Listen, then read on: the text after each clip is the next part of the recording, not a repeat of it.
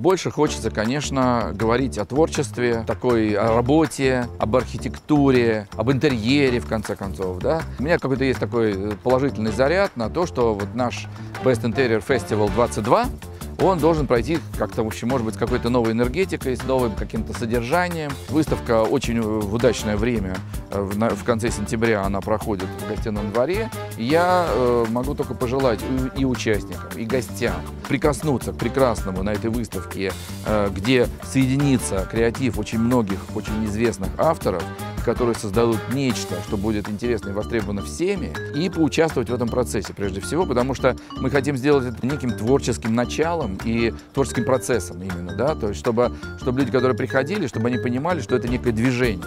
Вот эта рефлексия, это движение все-таки к какому-то будущему, к какому-то ясному, понятному творческому направлению. С 28 по 30 сентября в гостином дворе приглашаю всех на наш замечательный фестиваль.